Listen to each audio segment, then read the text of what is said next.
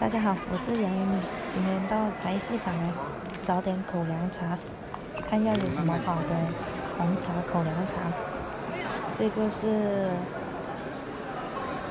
湛江红茶，这款是没有芽头的，都是叶子。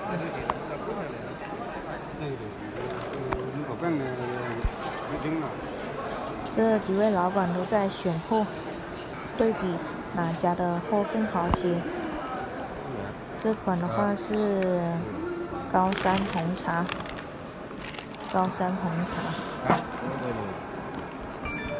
我们的三江红茶，三江村。红茶在我们三江是主打的，三江红茶是比较受欢迎的，因为人家来拿货进货，全部都是拿这个三江红茶。现在我就是想找一批价格便宜又好喝的一款三江红茶来做口粮茶。现在在这个茶叶市场这里看一下，这款也是没有芽头的，看着这个茶的表面非常的不错，就是不知道尝起来口感怎么样。看着这个是挺漂亮的。今天拿到市场的红茶、绿茶都有，红茶比较多，绿绿茶少一点。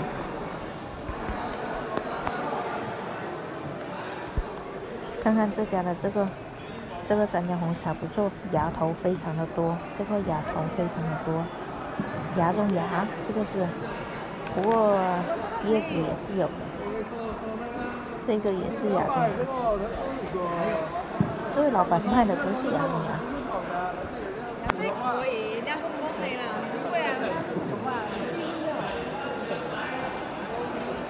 像我们这边菜市场早上都是四点半就开始到菜市场来了，然后到早上的八点钟，然后就都没什么人了，所以一般都是在凌晨交易的。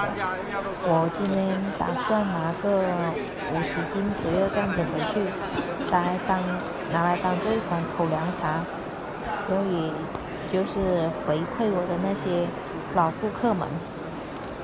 便宜的卖给他们。现在这几个老板在看这个红茶，我也要赶紧找几款好的茶叶，拿来当做口粮茶。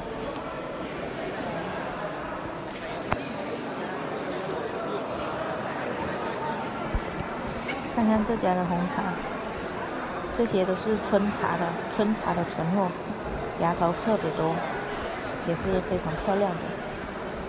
这些都是半成品，拿回去的话，我自己还要拿去加工，然后筛掉这些茶沫什么的，看着还不错，就是不知道价格怎样，等会儿问问老板先。这个还是不错的，这家的红茶，老板不知道去哪里了，等他回来问一下他。这些就是我刚刚拿下的红茶，整整三大袋，等会儿拖回工厂重新加工一下，拿来回馈老顾客。现在天都亮了，差不多回去了，再见了，朋友们。